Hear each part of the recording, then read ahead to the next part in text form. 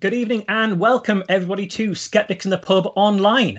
Uh, I hope everybody's well this evening. I know already from looking at the chat, we've got audience members from all over the world tuning into this event. So uh, I hope you all enjoy it. Uh, so, Skeptics in the Pub Online is uh, a group uh, of uh, skeptical organizations from across the country who ordinarily would be putting on events in our own local towns and local local villages and in our cities, in pubs, in person, with real human beings in front of us where we can actually enjoy a pint together in a community. And unfortunately, because of this whole COVID situation, obviously we can't be doing that right now, and so we've decided to band together to put together uh, this uh, this event for uh, the entire of the UK, the entire UK uh, skeptical community working together. And so we've been putting these events on every week since lockdown started, and uh, hopefully it's been providing people an opportunity to keep connected to the skeptical audience uh, around in the skeptical community of the UK, and a little skeptical fix in your in your week.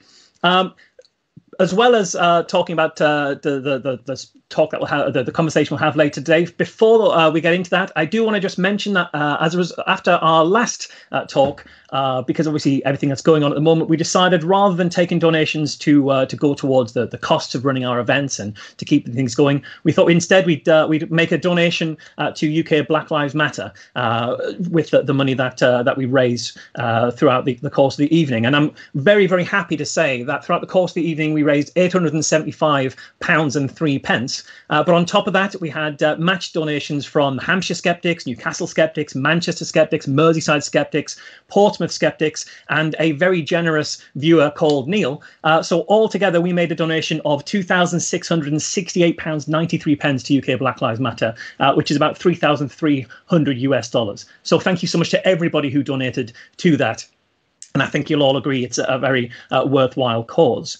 Um, as we're as we're having the conversation with our with our speaker this evening, uh, feel free to join in the chat. You can see the chat there on Twitch uh, and keep the conversation going in there. And we'll be keeping an eye on uh, the questions that you're asking. But if you do want to specifically ask a question of our speaker, we also have a system uh, called Slido. If you go to sli.do forward slash nerdy, you can ask your questions there, and we'll be coming to those questions later in the evening. Um, the other thing you can do is if you like what we're doing and you want more of this to continue, you can make a small donation uh, at our PayPal link, which you can see linked on the screen, and our various moderators will pop that in the chat from time to time to, to show you uh, where you can uh, support us. Uh, and also, if you are an Amazon Prime subscriber, you can subscribe to, to our, our Twitch channel for free, and it will give us a small donation uh, on a monthly basis. So it's uh, your opportunity for no cost yourself to give us a little bit of money. So feel free to, to do that if you're if you're interested. Um, so that brings us to our uh, our event this evening, which is a little bit different to our normal events. Usually we have a talk. Uh, tonight we're going to be uh, having a conversation uh, with our speaker, uh, with our guest. Our guest, Cara Santa Maria, is an award-winning journalist, science communicator, television personality, author, and podcaster. She's currently working towards a PhD in clinical psychology with a concentration in social justice and diversity. So please fill the chat with claps and appreciation uh, for Cara this evening. Cara, thank you so much for joining us. Thanks so much. This is so funny because we're not in a pub. I'm in my podcast studio. It looks like you're maybe in your living room, and I'm drinking water. That's Cheers. it, you see, because uh, the time zone, you it would be surely socially inappropriate for you to be drinking at this time. We couldn't possibly be endorsing that, uh, you drinking at uh, 11 in the morning. But uh, we'd really appreciate you uh, you come along to join us. Um, how are you doing right now? How are, how are things? We're watching uh, in America with everything that's going on. How, how are you keeping? Right. So I live in Los Angeles, right in the middle of the city, um, kind of on the east side, close to downtown, in a little neighborhood called Eagle Rock. And it's an interesting experience being, in, in some ways, at ground zero. Obviously, Minneapolis is, is the main ground zero of these events. But of course, we've seen that there are Black Lives Matter marches across the globe in, in major cities everywhere. Uh, LA notoriously has had a lot of conflict with the LAPD. We have a mm. long and kind of checkered history. Of course, uh, LA 92, the uh, Rodney King protests. Um, kind of come to mind for a lot of people. And you know, it's it's been interesting to see because I was I didn't live here in '92. Um, also, I was only nine years old, but I lived in Texas at the time, and so I don't think I was as kind of politically um, informed. I didn't really quite know what was going on. So it's definitely been interesting to see like the National Guard and tanks rolling through the streets, and like mm. you know, it feels like an armed militia out there. It's really weird. Um, obviously, gun culture in the U.S. is completely different than gun culture in the U.K. So it, our norm storm is probably um, pretty intense uh, for for you guys across the Yeah. pond, seeing what it's like, just how militarized our police is on a on a day to day basis. But definitely during um, a heightened protest situation, the amount of police brutality it's been um, it's been pretty intense. But I'm super proud of. Uh, of all of my fellow Angelenos and the um, just the turnout at these marches and how it uh, kind of elevated the conversation around um, uh, Black Lives Matter, you know, Mhm. around not just police brutality, but about systemic racism, institutional racism, um, and uh, sort of how educated I think a lot of people who have been living with their white privilege for a long time and not really taking the time to do the anti racist research and some of Mhm. the anti racist work. I'm just really uh, excited to see the uh, kind of, I don't know, the raising of the consciousness of a lot of people around me. So yeah, it's it's an interesting time. It's obviously a very difficult time for a lot of people. Um, my hope is that it, it leads to really progressive change, and and we are starting to see some uh, some real outcomes of these. Now we're into like week two of the protests. I think um, you know m- uh, well over seven days in. So uh, actually, wow, it's June 11th already. Okay, yeah. We are well into this because this really Yeah, started to erupt just at the end of of, of May. So, um, and it's really cool to see that there are not just changes in some of the charges that are brought forth against some of these officers, but also, you know, in Minneapolis, there's a full. The city council has decided we're going to rethink what it means to do policing in general, and so that's a really um, exciting outcome. I, I just hope it continues and people don't don't forget when it's no longer quote unquote newsworthy. You know, what I yeah, mean? yeah. And, and we're obviously seeing sort of uh, protests and uh, solidarity uh, offerings from uh, from all around the, the, the world, and we're having that here in the UK. Um, we've actually got to talk next week with Angela Saini talking about the return of race science, which is obviously super relevant uh, right, Right. now, and we're kind of really really excited about uh, about that. Um, but as well as all this going on, you've also previous to that, we've also got the the, the coronavirus. Uh, uh, Yeah. Crisis uh, happening and obviously you've got quite a, a portfolio career quite a, a, an eclectic career how's that been affecting your your day jobs your many different day jobs how are you finding that Well, so I mean, I'm I, I am in a really privileged position, so I can't really complain. But I will say that there, I'm, there's some nervousness that's starting to creep in.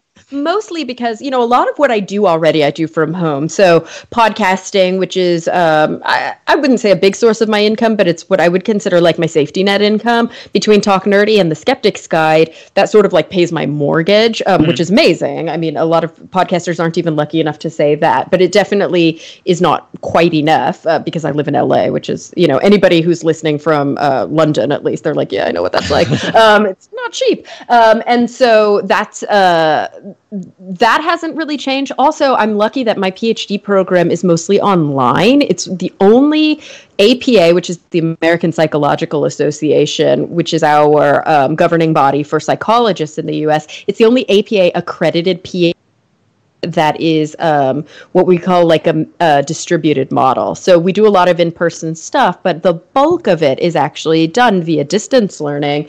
Um, so that really hasn't changed much either. The biggest things are uh, seeing clients. So I was working in a group home setting, um, which is uh, I don't know if you guys have group homes in the UK, but it's it's sort of an extension of the foster care system. So it's where a lot of these. Uh, I was working with teenage girls, but it's where a lot of kids might live who haven't yet been placed with a foster family, um, and so it's kind of a step in between what we might consider institutional care, which would be like a multi-bed situation. So these group homes are are just converted houses, so like six girls to a house. So I was working there providing therapy um, for some of the girls that were in these transitional parts of their lives.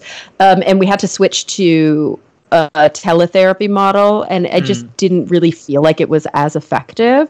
I've, I've since closed out that therapy site, and I really can't start a new one until things change because it's very Yeah, yeah. difficult to start establishing rapport and really to do training um, because I'm not a licensed therapist yet, right? I'm still getting all of my hours on my PhD.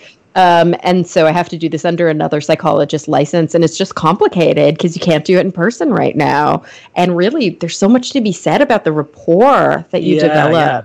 you know in the space like we talk off a lot about holding space and we talk about you know kind of the emotional tone of the room and when you're not even in the same room that's that's really difficult. And then, of course, um, I, I, am working on a television show. It's called Brain Games. It was reimagined last season for um, for National Geographic here in the U.S. and also now it's on Disney Plus um, because Disney and Nat Geo. Disney now owns Nat Geo. Mm-hmm. Um, and so we we filmed all that we aired it it was all great and we were set to film this summer and it's been pushed back and pushed back and pushed back so that's a really tough thing because that's like the bulk of my income yeah, um, yeah. but i'm gonna figure it out I'm working like, on that right now. With all these different uh, these different projects, different strands, has it was it always your intention to have such a, an eclectic career, like a portfolio career, or how did you end up it, applying yourself to, to so many different things at once? Really?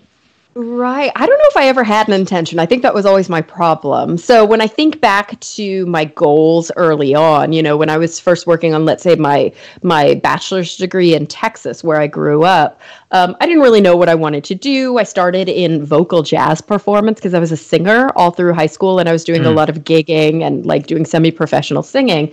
So that's what I was studying. But I realized as soon as it became academic, it was taking a lot of the fun out of it, and I didn't. I ultimately, if I'm going to be 100% honest, I got an undergrad in psychology because it seemed easy. it was like, it was one of those degrees that kind of like didn't require a lot of math or science. And, I, and I, I mean, really I've got an English literature degree, so I'm not in any way. and at the time, I didn't know. I didn't know who I was. I didn't know what I wanted to do. I just knew that I was in college and I didn't like my major and I needed to pick a new uh, path pretty quickly. So I studied psychology. Ultimately, during the course of my degree, I found my legs. I found some really great advisors. I got really interested in neuropsychology and started doing research. I did a bachelor's thesis and ended up getting a, a Bachelor of Science degree as opposed to a Bachelor of the Arts degrees, which mm-hmm. some schools, I don't know. It's I don't know if the education system really comports across the pond, but um, I ended up basically doing a version of my degree that was much more research oriented. Um, and then still didn't know what I wanted to do worked for about a year, you know, took some time off, and then decided I feel like I don't know enough about the brain from kind of a biological perspective. So I hmm. decided mm. to go back to school to get a master's degree, and I switched departments. So I was still at my at my university, uh, the the University of North Texas, which is you know 45 minutes from where I grew up, because again, didn't know what I wanted to do with my life. Um, and I I studied neurobiology for my master's degree, did some research, still didn't know what I wanted to do, still took another year off to teach and make money, and then ultimately moved to New York to start a PhD program because it seemed like the next logical step. Um, didn't really, like, New York was a tough thing for me. It was like transitioning from, you know, the sunny countryside in yeah, Texas, yeah. the South, where even though I think that um, politically and ideologically, I was at odds with a lot of people. But in terms of the kind of culture. Like Texas is just a very warm, polite, neighborly. I mean, you don't want to get below the surface with many of these people, but you know, at least in terms of. I'm sure know, if you've got any viewers from Texas, I'm sure you're all lovely. You're in the right place. So uh... totally. If you're listening to, if you're here on a Skeptics in the Pub, like you're my people. Um, but yeah, it was it was definitely tough growing up in a super conservative, like Mormon family, and you know the Bible Belt, all that good stuff. There's yeah, a lot of yeah. entrenched racism in the South. Um, so moving to New York, I was like really excited. But what I don't think I realized was that the culture shock of kind of how fast it is there, how dark the city is, how um, kind of in many ways cold the city is. Somebody who is struggling with mental illness, um, really didn't have a good therapist. I wasn't taking meds for depression at the time, and I was a bit rudderless. So I did a year towards a PhD, but ultimately I ended up leaving, which was one of the hardest decisions I had uh, made. I had visited LA and really fallen in love with the city. The sun, I think, was very healthy for me from a mental health perspective. Um, the pace worked for me and uh, it just seemed like there was some interesting opportunity. So my intention at that time, this would have been like 2008, I think, was always to come to LA, establish residency, and then reapply to a new PhD program. Yeah, yeah. But weirdly, I started getting some opportunities to be like an expert guest on like local news shows and, you know, talk about science um, because I was a scientist. I was a working scientist at the time um, and talk about kind of what was new in the world of science. I think a lot of my teaching experience helped me do that a little bit more comfortably. Mm. And you know, when I first got the offers, I was like, why me? This is weird. Nobody's going to want me for this. And it also doesn't pay, by the way, being an expert guest. So yeah, it wasn't yeah. really thought of as a career. It was just like, oh, this seems fun while I'm trying to figure out and establish my roots. Um, but it ultimately, slowly, weirdly turned into uh, an actual career uh, for me, and I, I, never expected it to, but it it started to pay pretty well. Um, hmm, who would have thought television pays better than teaching? Um, so it was a hard thing to kind of walk away from and but deep deep in my heart i think i always knew that uh, i wasn't done with academia and i was going to go back. And and i basically made the decision to go back to school a couple of years ago now. I'm, a third year phd student. Um, i made the decision when i was finally in a financial position because of course financial considerations in the US are also very different than the UK because we don't yeah, have yeah. any universal social systems, right? So we have to pay for our own health care. Uh, a lot of our education we have to pay for out of pocket. And I decided I will not take out another student loan. I'm going to wait until I'm in a financial position where I'm lucky enough, I have that kind of privilege to be able to pay for school out of pocket. And, you know, obviously have uh, paid off all of the debt leading up to that. And and that's why it took until i was like in my mid 30s to go back to school. But i'm glad that i did it that way because now i don't feel trapped mm. or like really under the thumb of um, a government loan program or even of my university. You know i can make decisions that are best for me because i have a little bit more um, not just freedom, but I think a little bit more control over my own destiny now. Um, it's it's pretty amazing how much these financial obligations can really take that yeah, that control yeah. away from somebody and have you know really devastating effects on the, on their life and, and that control on your on your destiny, I think, is kind of a, an interesting thing to pick on. Because one of the things I was going to ask was um, because you're quite uh, eclectic in the portfolio of things that you're uh, you're working on. How do you choose what to get involved in when you're presumably quite stretched on time? How do you balance what sounds important, what sounds fun, what pays the bills, what has a long term benefit? How do you navigate that? So it's funny, you know, I've I've kind of taught um, a lot of seminars and things like that on science communication. And I also co founded and co ran for about five years a like adult sleepaway camp called SciComm Camp, which was so much fun for for uh, early career all the way to established science communicators in every different field, uh, all the way from a freelancer to somebody who's maybe a PIO for a university or something. Mm. Um, and we always would do a session, and I actually have one later today because we invited uh, kind of our SciComm campers from the past to do a Zoom meeting um, called the Freelancers Support Group, uh, which is sort of like therapy for freelancers. And of course, with all the you know uh, weirdness of COVID and the uh, pressures that people are feeling, we decided it was a good idea to mm. to have another freelancer support group. And one of the things that we talked about in the f- freelancer support group, and I can't remember if it was Ed Yong or Liz Neely who first introduced these ideas to, to me and some of my colleagues. But we talk about this concept called the three P's um, profit, passion, and prestige. And okay. one of the things as a freelancer that a lot of people struggle with is making those decisions. What is um what's a good decision f- for me and my career where I'm not being taken advantage of because it's actually very easy to be taken advantage of in this field, especially, you know, I'm lucky I have an agent who negotiates my deals for me. Um, n- very few people have that opportunity. Mm-hmm. And especially women, especially uh, people of color, we historically find ourselves in a, in a not great position when it comes to negotiations um, and kind of being very apologetic and thanking people for opportunities that honestly they should never have asked us to do in the first place for free. Yeah, yeah. It's a tough thing, right? So uh, the three P's passion, payment, and prestige. The rule of thumb that we often uh, promote is never accept something unless it has two of the three. Okay. You would never want just one. So it might pay really well and be something you you are really excited about, but not no many not many people are going to see it. That's okay. Or maybe it's something that'll really elevate your career and it's a passion project, but you're not going to make much money. That's okay too. Or maybe, you know, it's something that a lot of people are see will see and it'll be good for your career. It's not really your area of interest. You don't care about it much, but the paycheck is good enough that's okay. But when you're really accepting something just for the payment, it's often the case that you are going to feel guilty about some of the um, trade-offs that you had to make if if there's mm. no passion and there's no prestige. If you're accepting something just for passion, I think it's pretty easy to get taken advantage of, and I would say that's definitely the case for just prestige because this is a common thing for science writers where it's like, oh, but you'll get exposure. You know what? Through your exposure, pay me what I'm worth. Um, yeah, that's yeah. a hard lesson for a lot of uh, freelancers to learn.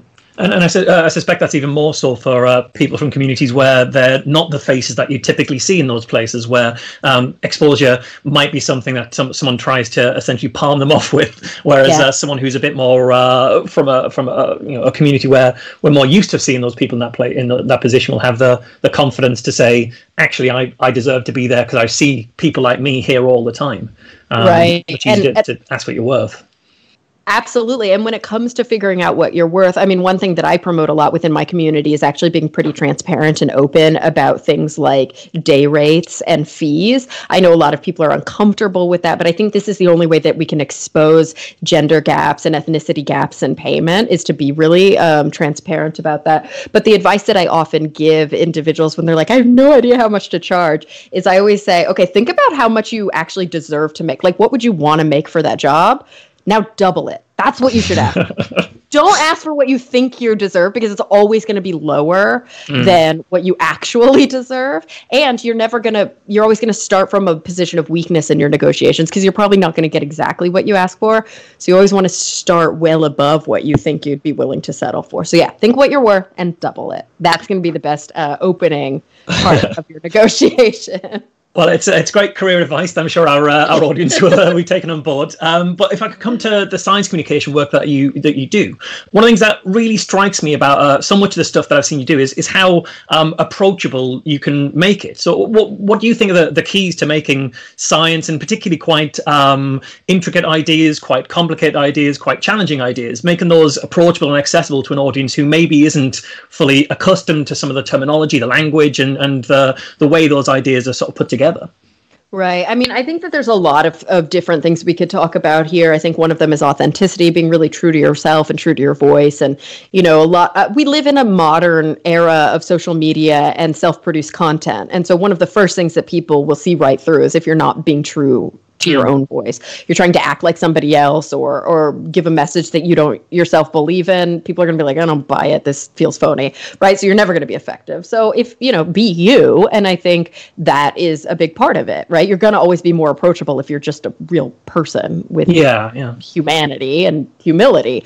I think another um, aspect of that though really I give a lot of credit to my training in the mental health field. I think that as I have been evolving in my academic journey and also in my kind of uh, search for my own self identity, which is, you know, I think a never ending lifelong process, um, a, a lot of the I've gotten better at this. I think early on I wasn't as good at being sensitive to mm. the individuals with whom I'm speaking, um, and and you know giving credit where credit is due. I think one of the things that I often I have like a top five or top ten list when I give talks about SciComm.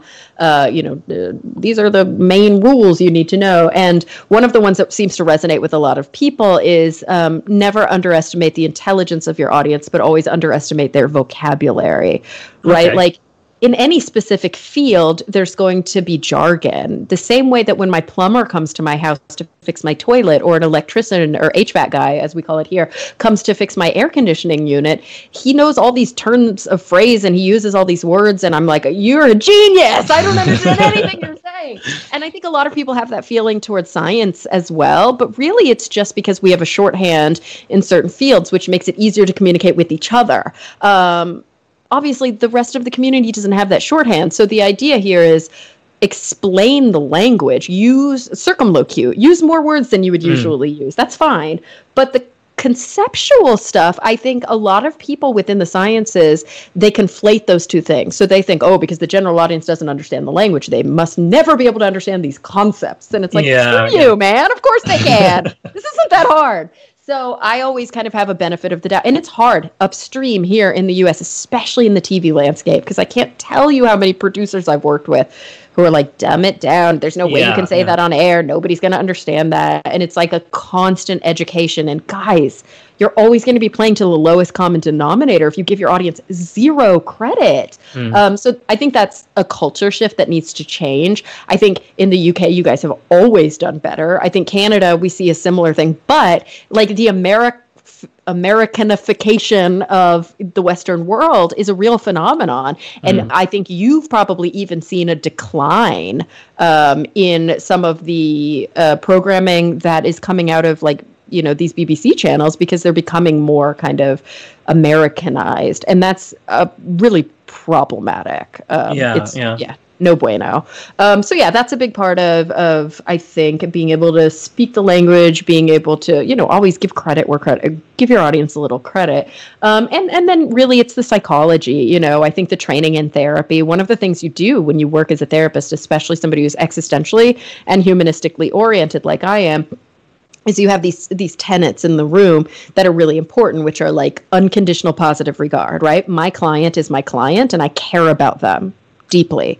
Um, uh, a non-judgmental stance. Now this is very difficult when you're working with let's say somebody who is in the criminal justice system who's a, a s- an offender and uh, maybe has been um, uh, you know charged with a sex crime uh, you know uh, maybe they've been charged with rape of a minor and now you're going to be doing therapy with them. And people say well how could you possibly have unconditional positive regard or or you know really positive non-judgmental stance with them? And it's you know you have to do a lot of soul searching to, to be able to do that. I struggle with this um, not so much with offenders. I struggle with it more uh, when i'm working with clients who themselves have not had a real awakening about their own maybe bigotry Yeah, or their own yeah. Racism is how do I then approach them with this really open stance when I like how do I be tolerant of their intolerance? Um, and there's a lot of soul searching that comes from that, but those lessons obviously translate to science communication, right? Mm, How do you reach somebody when their worldview is different? When they have,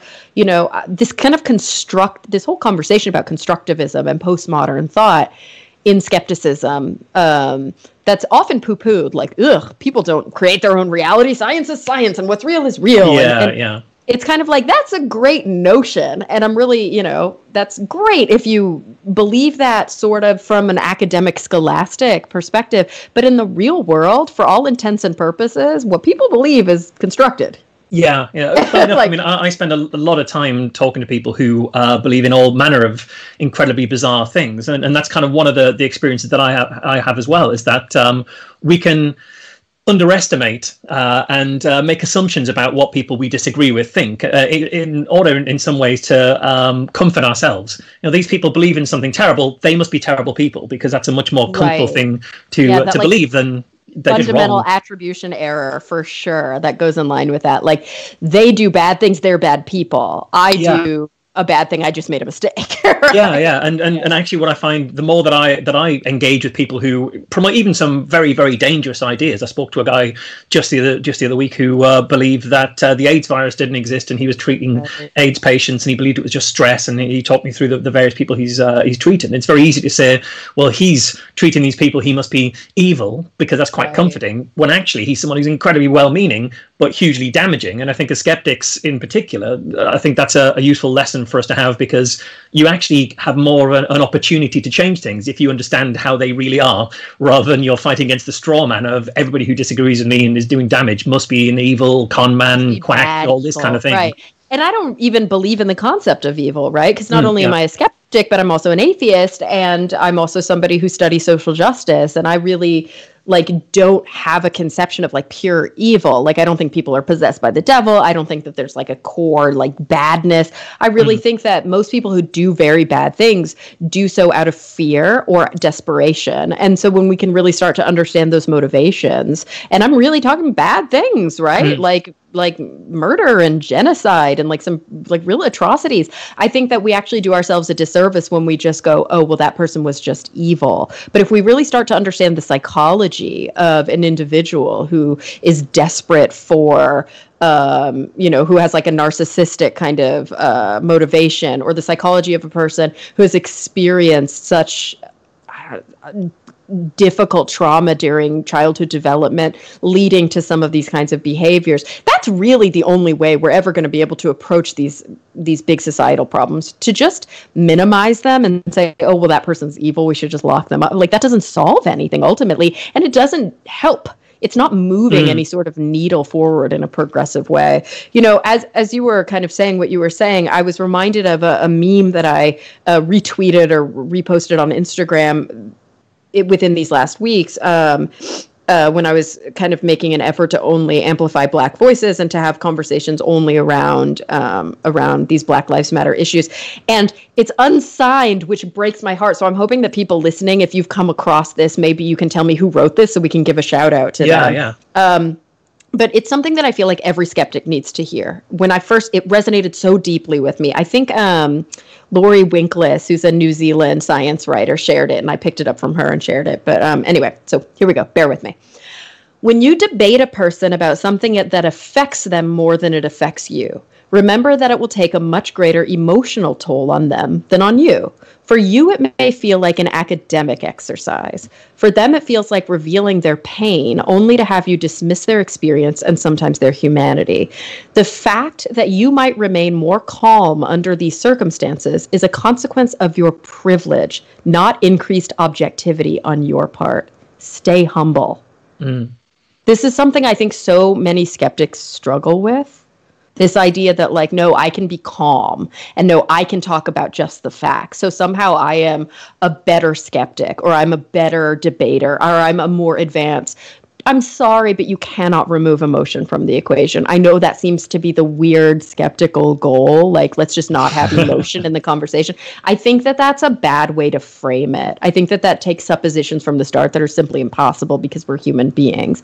Yes, you can work towards being unbiased, and yes, you mm. can work towards you know all of these improvements in in these kind of cognitive flaws but the way that you do that is not to pretend they don't exist the way that you do that is to grapple with them in a deep way and to find them in yourself and understand them and approach them with curiosity approach them with kindness and work towards um, you know making peace with the fact that these are a part of the conversation but so often i find that skeptics uh, want to pride themselves on not being biased or yeah, on yeah. you know on being dispassionate and objective um, which is all nice and good on paper but in practice what that often can backfire into and amount to is being cruel and being mm. un- unfeeling and uh, lacking i think uh, you know basic empathy and that's a big problem with our movement and it's something i, I, I hope that we can see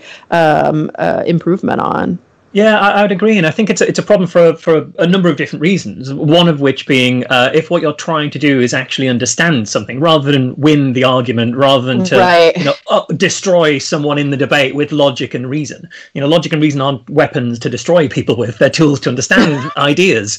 Um, and and so if you are saying, well, I'm uh, I'm uh, an ultimate rational actor, and any amount of emotion shown by someone who disagrees with me is proof that I that I won the the argument. You're not actually at that point trying to get to truth. What you're trying to get is is the W on your side, um, right, which I think is, and really that's genuine. bullying more than yeah, anything, yeah. right? That's that's like your goal is to bully that person into breaking down, so that then you can what lord over them that you didn't. It's yeah. it's a strange approach, and and it's almost to to paraphrase uh, uh, an old saying, you know, always tr- stri- follow people who strive for objectivity, but question anyone who claims they've got it. Essentially, exactly. is that we haven't oh. got objectivity. We, all we can do is recognize what uh, and try and accommodate the biases that we have and acknowledge them.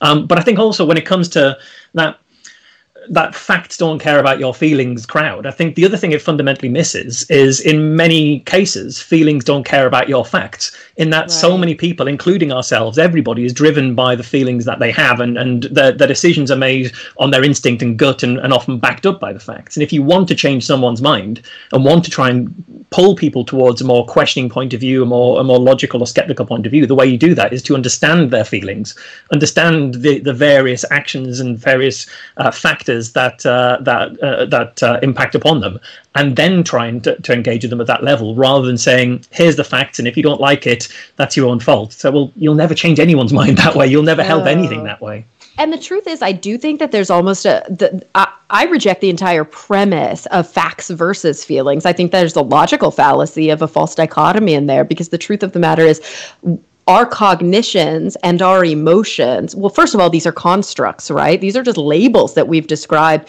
to try and have a taxonomy to try and make sense of, of our psychological world.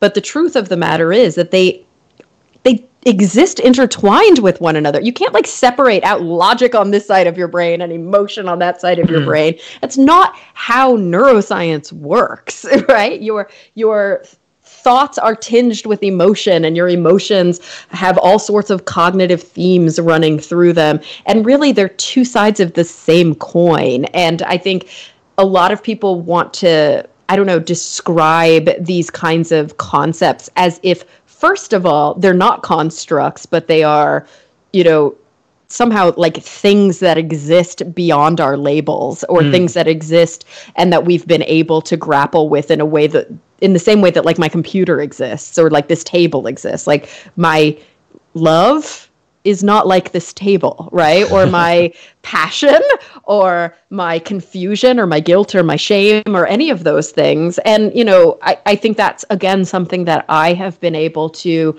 make sense of the more that I dig deep into the relationship between neuroscience and psychology. It's very easy to stay on one or the other side of the aisle, right? Mm. It's very easy to throw yourself fully into a psychological worldview that ignores biology. And I think that that can be pretty dangerous. But it's also very easy to throw yourself into a biological way of thinking about the mind and the brain and behavior that just fully ignores some of these central psychological concepts. And when you do that, I think ultimately you end up removing a lot of humanity from the equation and mm. oversimplifying the way that all of this stuff works.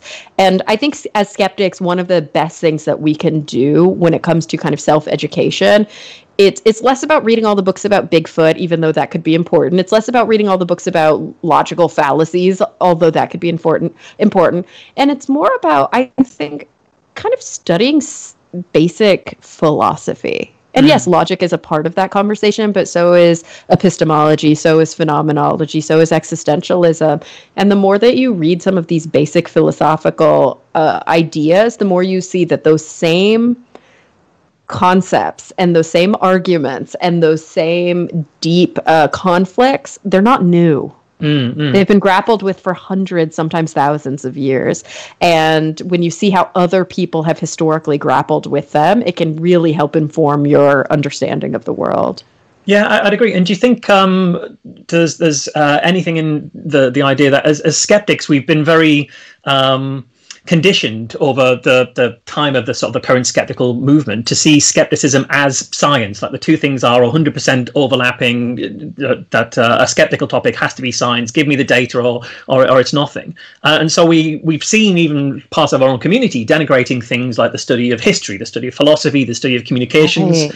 I remember I was doing a science conference uh, here in Liverpool for a, for a, a group, and um, I was asked a question about uh, how do we, uh, in, in, a world where people can't tell what's true and what's not true, um, should there be something on the syllabus that teaches people uh, the methods of thinking, how to construct arguments, how to understand things? And I said, well, yes, there should, and there was. It was called philosophy, but a lot of scientists largely said uh, it's only good for flipping burgers, and uh, we, we sort of didn't incorporate that into our movement. Um, what what do you what do you make of that, really? I think it's true. And I think it's funny. One of the things that I've been focusing on lately, or I don't know, it's been in my mind. I, the way that I think is obviously the way that a lot of people think, but it's really salient for me in that I tend to kind of connect things and uh, make sense of the world in a way where I'm constantly taking in new information and attaching it to old information, mm. right? Um, and so because of that, I see parallels sometimes where they probably don't exist. But um, one of the things that I've been noticing lately with engagement in social media is that I very easily fall victim to getting sea lioned. Do you know this concept of sea lioning? Yeah, yeah. Well, I'm sure lots of our audience might not know, so uh, feel free to, uh, to, to define it. Right. So it's based on a cartoon, and in the cartoon, somebody says, like, I don't even remember. I'm paraphrasing, and I'm probably butchering it, but they're like, marine mammals are fine, but I those sea lions, not a fan. And then like a sea lion pops up, and he's like, please provide evidence as to why you believe sea lions. And he just keeps bothering them, like they're trying to go to bed at night. They're trying to, have, and he's like, well, it's okay. We'll pick this up later. and so, kind of the definition of sea lioning is that online you'll have it's like a type of trolling where an individual will um, just keep in a very polite way. So damn it, you get caught in their net so easily. Like it seems like they're uh, operating on good faith, but they just keep asking for evidence and no matter what evidence you provide it seems to not be enough. And they'll mm. sometimes move the goalposts and some they'll sometimes make straw man arguments and they'll make all sorts of logical fallacies in their pursuit where it's like they're just never satisfied and they keep asking for evidence which a lot of people go oh but that's a great way to be skeptical. No this is really a means of trolling.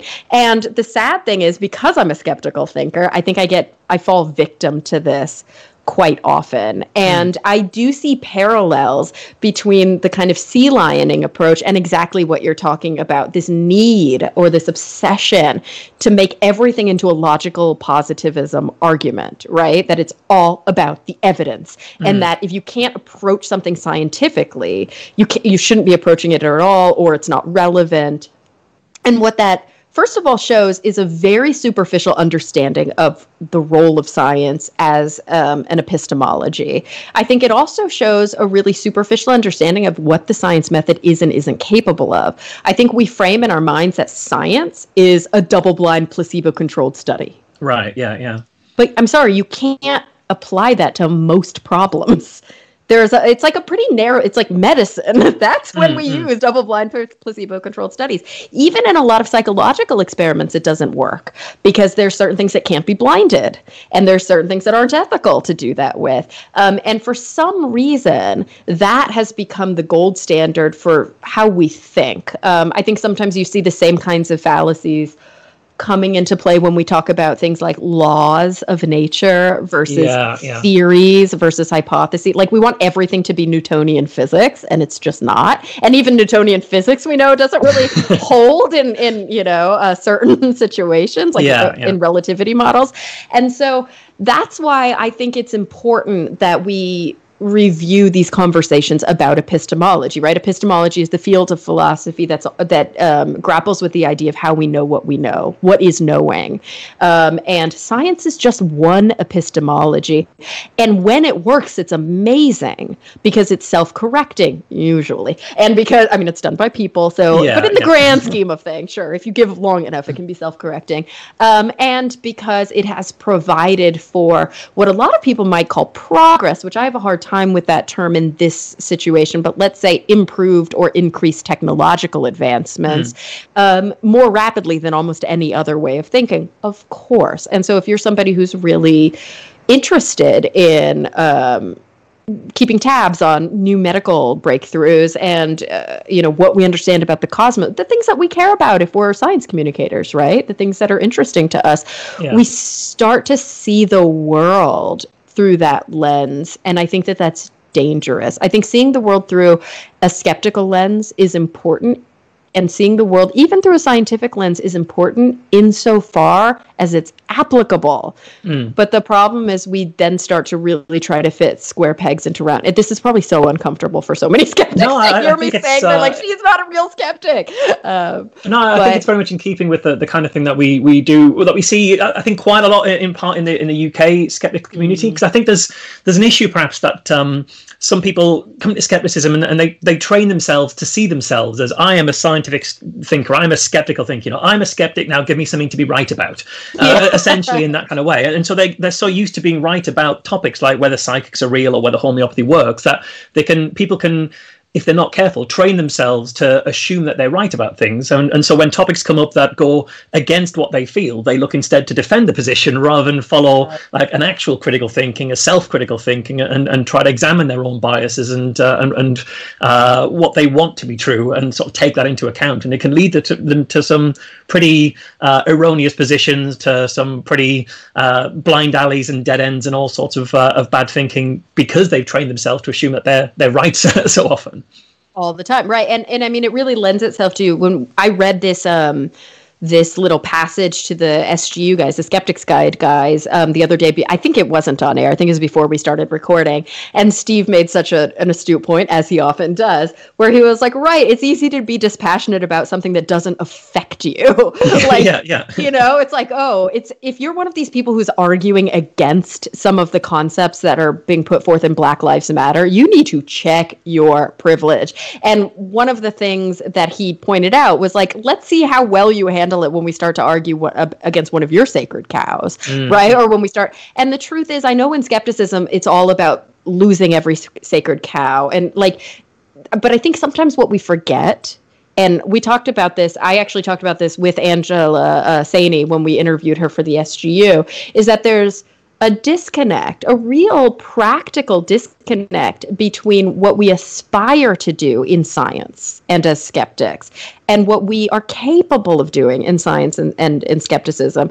And I think sometimes we conflate the two. And so we pride ourselves on our aspirational nature when our true nature falls short of that. And that's mm. because we're human beings and that's okay. So instead of just constantly pretending like that's not the case and like science actually does exactly what it's set out to do and there are no biases and human beings are all droids who never make mistakes, maybe what we should be doing is grappling with the fact that we are human and this is where the error comes in and this is how we can improve because um, really at, at its most fundamental base that's what skepticism is mm-hmm. right mm. it's the disconnect between the practical and the aspirational and operating within that space and determining what we can do within that space is where the good work is actually done yeah, yeah, and and I think so many that, that idea of getting rid of sacred cows. I think it's something that because people people I think can very easily forget that. We're prone to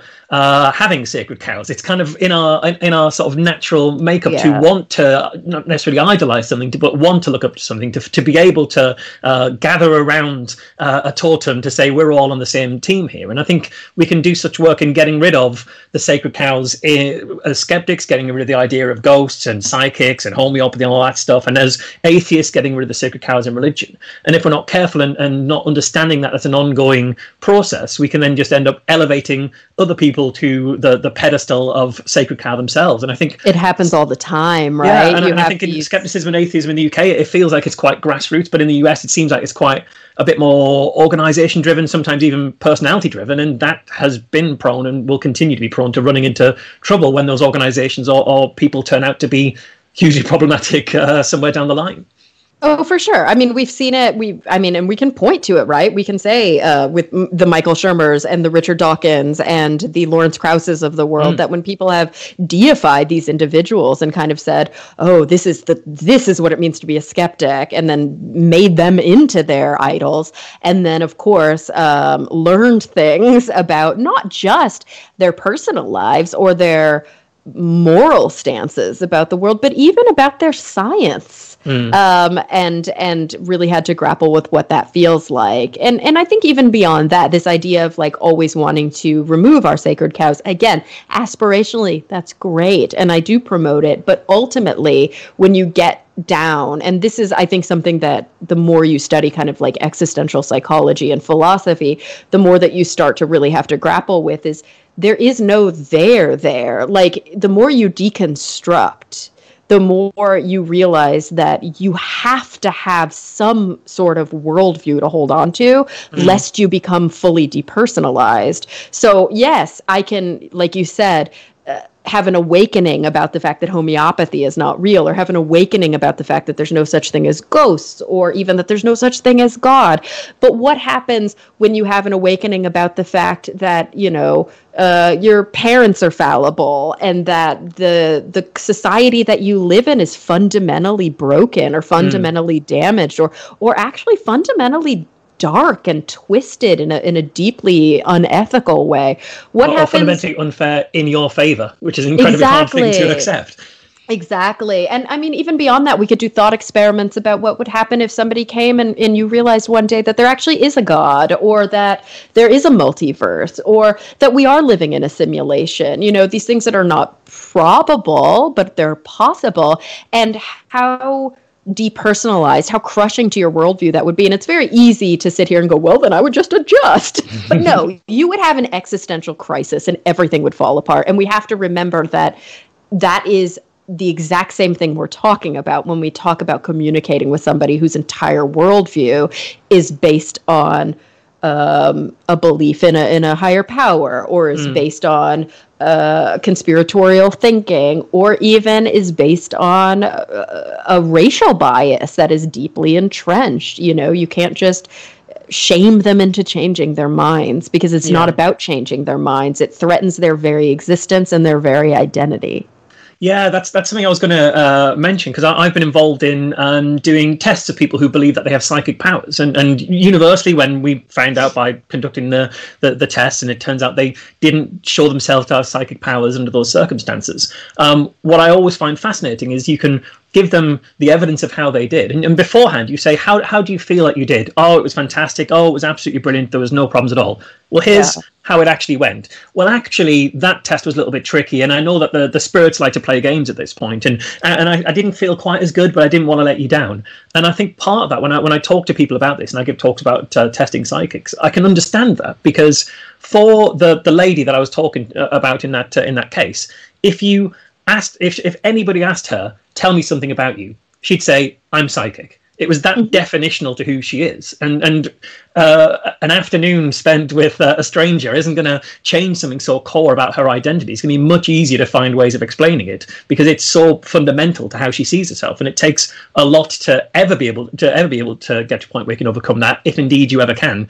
The most you can do is start to nudge people in the right direction and hope that they're receptive enough because they they trust the rapport that you have or they trust you as a positive actor, and and you slowly can move people to a position, but you can't shock them out of it because it's when it's so definitional to who they are and some of this stuff does require generational change. Like it's just not going to happen on the time scale that you know we're but it's like maybe a slightly more open mind maybe a little tiny nudge. The mm. things that you might think are thankless or you might feel like uh, what is even the point? Like those are the kinds of things because now when they raise their children they might be raising their children to be slightly more open and creating more you know physical people who then have more potential to have a skeptical worldview. You know sometimes these kinds of things um, as you just pointed out, they're not going to happen in a conversation. They might not yeah, happen yeah. in a lifetime. Um, and you know, it's interesting. Uh, and I'm interested in your take on this. Actually, if I could like turn the tables, one of the places where where Steve and I have, I think, a fundamental disagreement, and it may not be that we disagree. It may just be that we frame the question differently is we often talk about, you know, I'm often asking, do you think this person really believes that they're psychic? Or do you think this person is just a pure con artist or mm. charlatan? Is it somewhere in between? And his answer is usually, I don't think it matters. Like, I don't think that's the right question. I think that for all intents and purposes, that's the same thing. And I don't believe that that's the case. I, I, maybe from like an outcome perspective of how they're affecting other people, it doesn't matter. But in terms of grappling with these core existential issues of what it means to be a believer or mm. what it means to be, you know, have the wool over your eyes or whatever, I think it really does matter if somebody is an overt charlatan and if you caught them. Like you know what i think is like an alex jones situation where if you actually were able to get him off guard he'd be like yeah i'm just making money off this shit. Um, yeah, or yeah. A, an individual who's like no i really believe that I, I i have visions. Like you can't take that away from me. I know it, and I've had all these anecdotal experiences that reinforce it. Um, to me, those that's two very different people, and uh, you have to approach them very differently. W- what do you think yeah. about that? Because you talk to people like this all the time. It's what you do.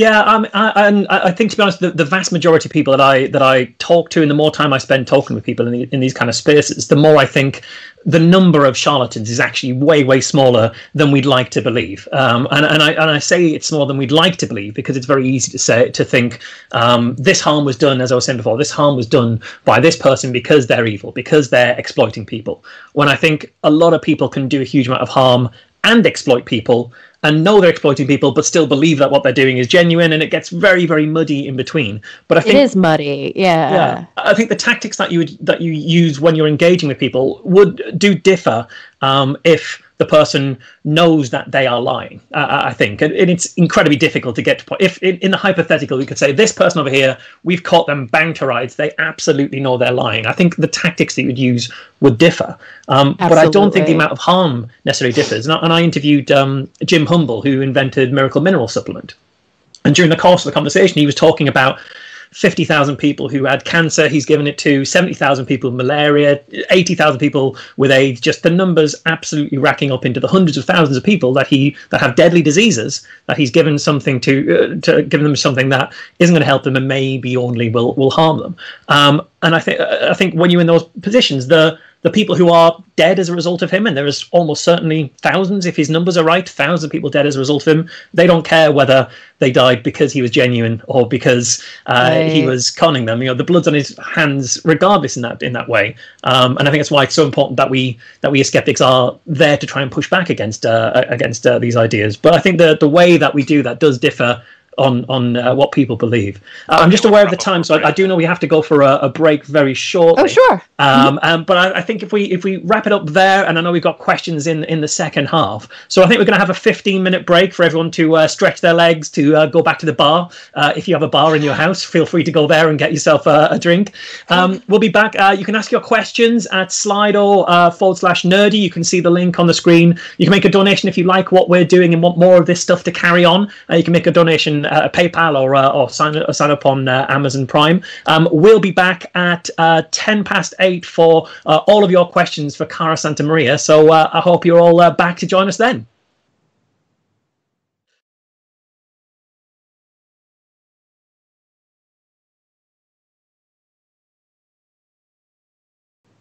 Okay, well, welcome back, everybody. Uh, I hope you're all uh, rested. I hope you're all refreshed, and I hope you're all ready for a what promises to be a really fascinating Q and A. Uh, I'd like you all to welcome back to the stream our guest for this evening, Cara Santa Maria. Uh, so everybody go crazy in the chat that I can't currently see. I'm sure you're all showing as much appreciation and love uh, as anybody could possibly imagine.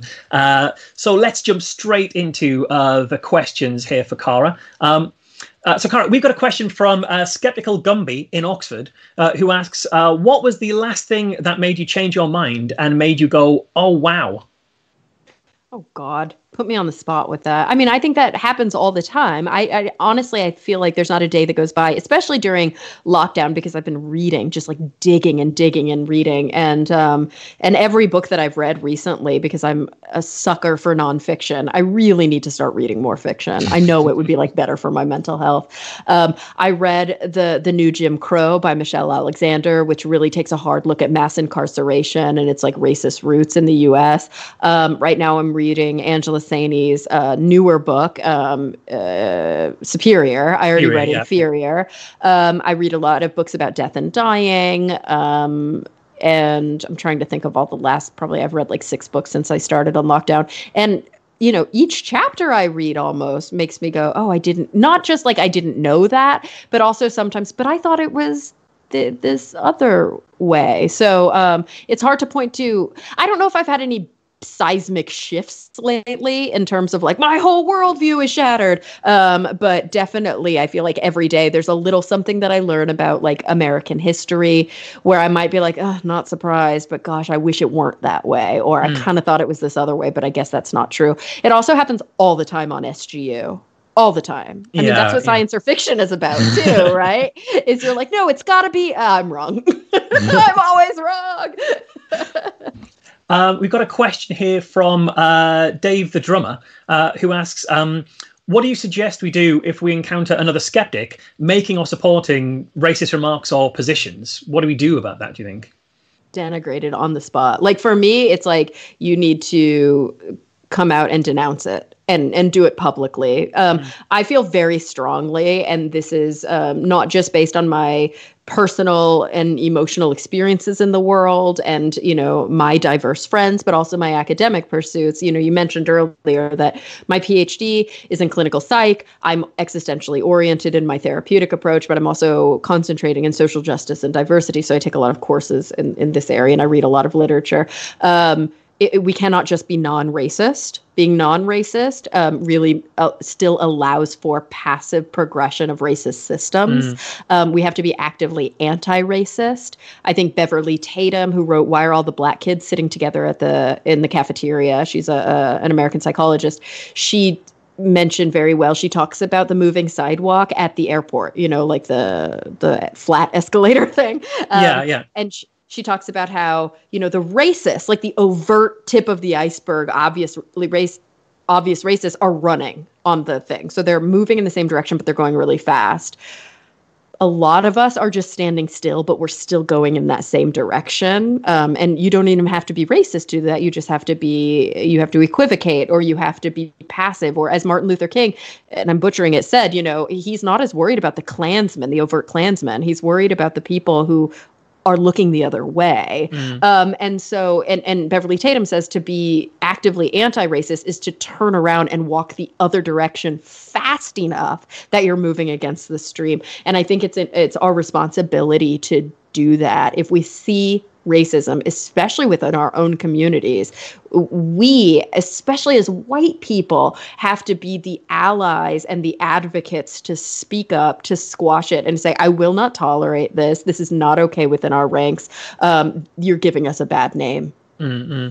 I think that's yeah. that's I, I, I, totally concur with that. It's uh, what we don't want is for for people with racist views to think that we are bedfellows of theirs, to think that they've got sympathy in our in our community, or think that our community is accepting to that. Whether those are overt racism or the more implicit racism that we see as people write off the Black Lives Matter movement as being not that big a deal, as it's such a small issue. Should we even care about it? Those right. types of positions, people, uh, and and really we're complicit by association if we allow that kind kind of rhetoric to um, to utilize a sort of like skeptic label or to say it within a conference or within a, an area where um, it, it should be condemned. Um, mm. You know, I think one of the rallying cries that we're seeing a lot at these protests is silence is violence. And I think uh, there's a lot to be said about that.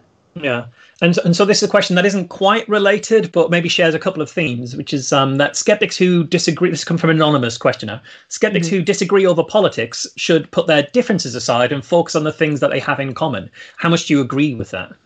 Yeah, I mean, I think that there's a difference between politics and and civil rights. I think there's a difference between politics and and basic social justice, and that's a distinction that I think is important to make. You know, when I've been speaking up lately on the Skeptics Guide, and it's been a difficult thing. Um, uh, our our editorial policy on SGU is that we don't talk about politics. Well, I shouldn't say that. Our editorial policy is that we are bipartisan, that mm. we don't um, overtly condone a certain political persuasion. Um, but of course that is breached and it's okay that that's breached when a certain political persuasion is antithetical to skeptic you know ideas. So when you see a conversation about uh, climate change being a hoax it, it on a political uh, platform, we're going to denounce that, right? Like, it doesn't mean that we're saying all Republicans are horrible. It means that we're saying, in this situation, this is not okay. Um, and I think when it comes to these conversations around Black Lives Matter, the idea that they are political conversations mm. is to me so insulting. You know, the idea that this could be minimized and to and have, you know, some sort of intellectual debate about whether or not citizens of our country deserve equal rights, uh, whether about intellectual debates about whether or not racism exists. I mean, it blows yeah, yeah. my mind. This is not a political problem. So, I, although I agree that yes, a lot of uh, skeptics should be able to have uh, respectful and intelligent conversations, regardless of the side of the aisle that they're on.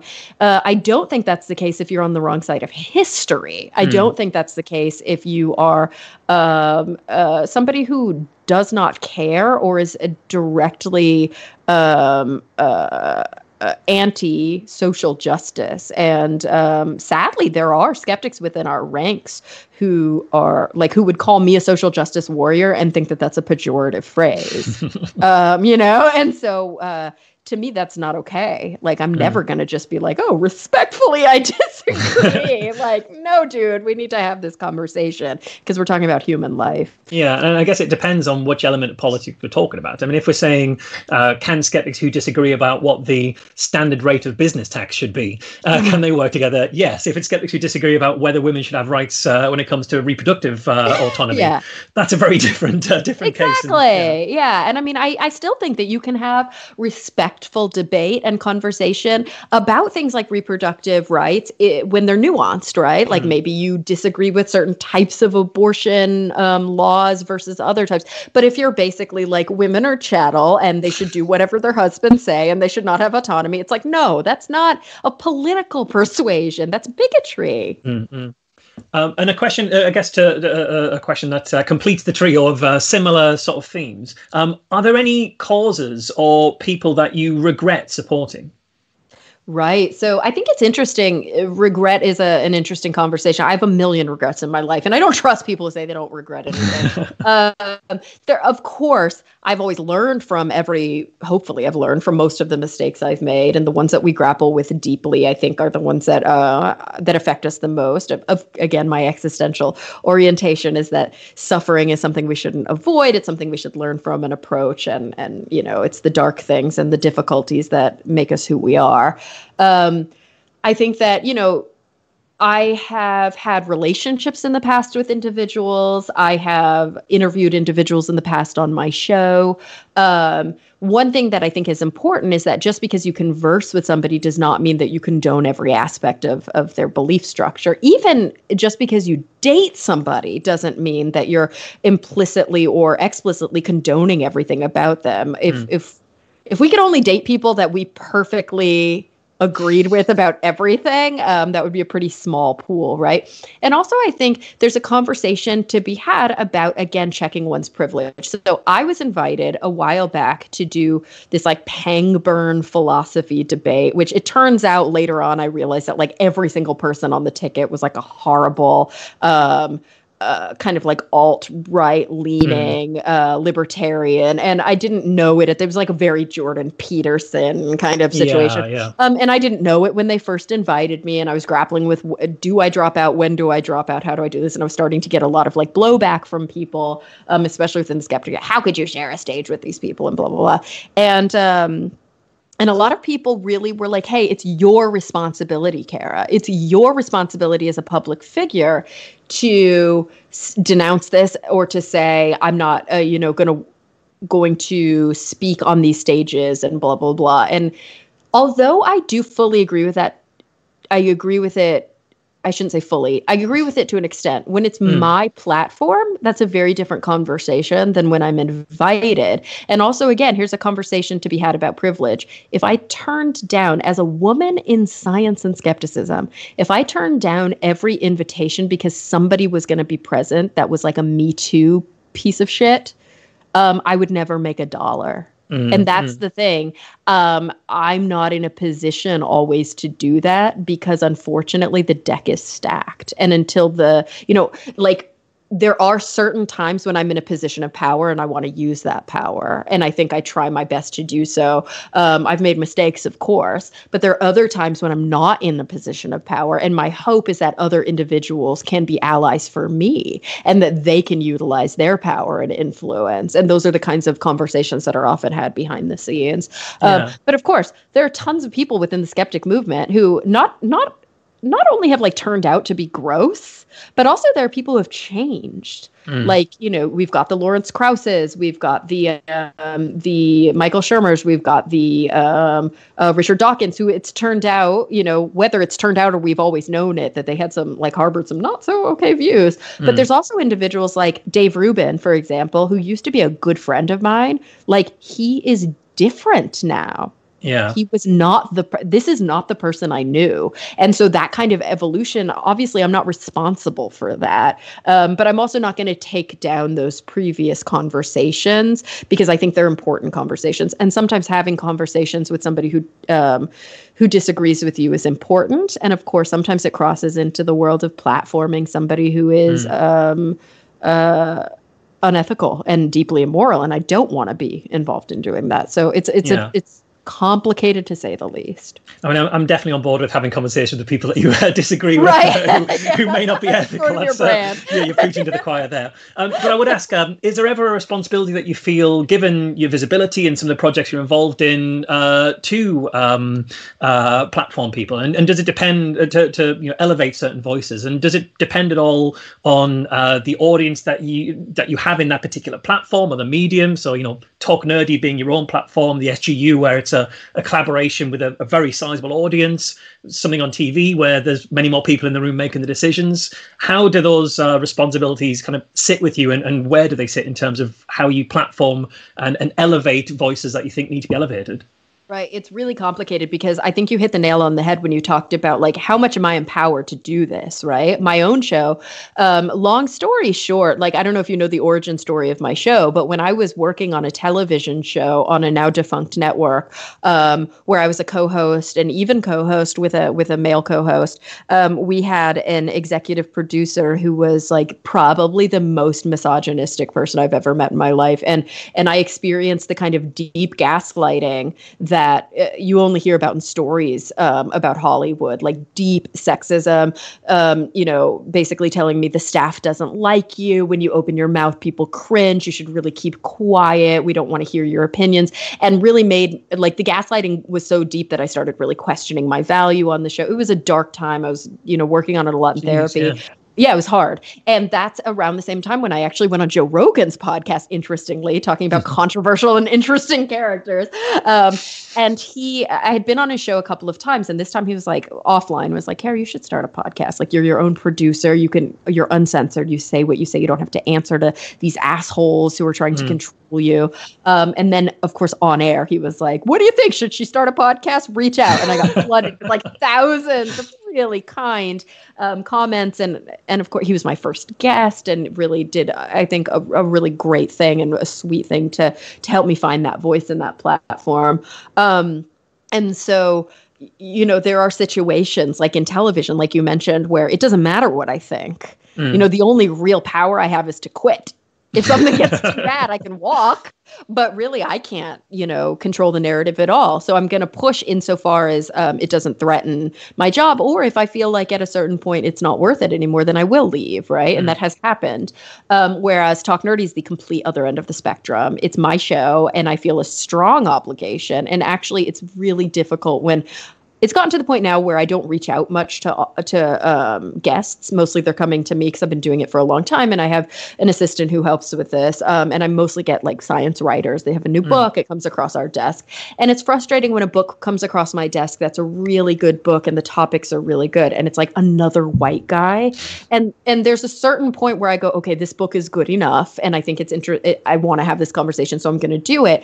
But I'm working with my assistant to say like, hey, we cannot have three white guys in a row on the show. Like, where can we slot this person in? We need to elevate, uh, you know, women's voices. We need to elevate the voices of people of color. And even. I'm ashamed to say, if you look through my catalog on Talk Nerdy, there are not nearly enough black and brown um, faces. And and a lot of that is because I you know, part of it is because the culture of science is such that there's not nearly enough black and brown faces. But part of it is because probably I didn't do as much work as I could have done because I was resting on the fact that I'll just see which books come across my desk. Yeah, yeah. Of course, they're going to be mostly by white guys. Um, and so there's, you know, there's a responsibility that I feel and that I sometimes feel like I'm I'm uh, failing in. Um, but ultimately, yes, my my my show is 50% at least women. Um, I try really hard to elevate uh, uh, ethnic minority voices. And even when I am talking to white men, I, I really try to challenge um, the conversation with those kinds of topics. I just interviewed somebody about SETI. He wrote a book about the search mm. for extraterrestrial uh, intelligence. It'll be out in a few weeks on the show. And we had a big conversation about colonialism and if we meet, you know are are the sins of our past and the way that we approach anthropology really the way that we should be talking about what would happen if we do get the opportunity to yeah, talk yeah. alien race you know like we need to be thinking about these things and making sure that indigenous people people of color are at, have a seat at this table and seti of course is dominantly white men so hello like yeah. we're just going to be bound to repeat the same mistakes but i think that's an important point it's a it's a good question and it's one that i grapple with a lot and of course uh, i guess the best i can say is like i'm trying and i feel like i can always do better um, mm. but i'm also in some ways proud of some of the things i have done um, but yeah i, I do want to do better for sure yeah. Great. Uh, we, have got another question. I promise you, all these questions aren't anonymous, but this one also happens to be an anonymous question. Uh, who asked, um, "Why is Freud, why is uh, Sigmund Freud still so influential and still taken so seriously? Is there anything of lasting scientific value from his work?" Yes. Um, and that's something that I think a lot of people are surprised about. So Freud really championed the idea of unconscious processing or or subconscious processing, and you know we can parse some of the language there. But we know in psychology, you know things like implicit biases, things like um, snap decisions that we make, things like inattentional blindness. A lot of these cognitive things that we understand about even about like the origins of racism and stuff. Um, these are things that Sigmund Freud really championed. Um, he was wrong about a lot of stuff, but you've also got to remember that when we talk about Freud, it's not really so much about Freud, but about the context of the origins of modern psychiatry.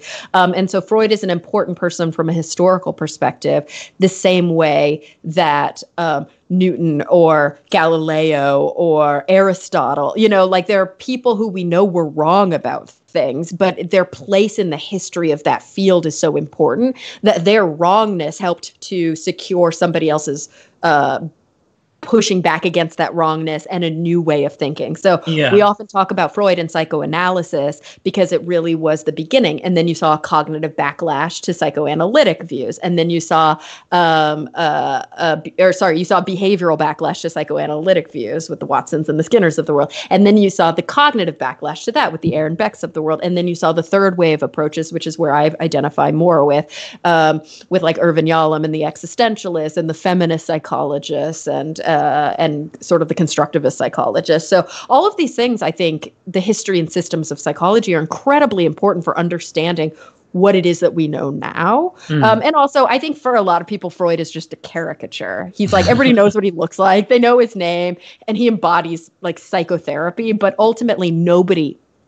I shouldn't say nobody. Sometimes I speak in hyperbole. And very few people still practice classic psychoanalysis. Mm-hmm. I actually have a professor who does at the Boston School. Um, uh, she's she's connected to the Harvard psychiatry department, and she has like psychoanalysis clients who come every day and lay on the couch, you know, facing away from it and do that multi hour. And it's so funny when you ask, like, who are these people? She's like, rich white men. Like, nobody else can afford to do psychoanalysis. But of course, that's not what I do. I do, yeah. ther- I do psychotherapy and, and I do a social justice oriented psychotherapy with marginalized clients and, you know, really trying to grapple with uh, conversations about identity and about death and about meaning and about um, uh, relationships and loneliness and you know mm. some of these deep existential issues.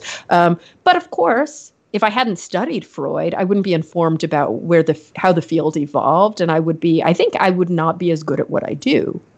Yeah, and I guess it's that that idea of standing on the shoulders of giants works whether the giant's facing the right way or not.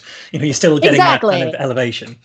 Yeah, like Freud was super sexist and Freud like gave his clients cocaine and Freud but also like it's like to some extent Freud was a product of his time, to some extent Freud was revolutionary and to some extent he was really really wrong.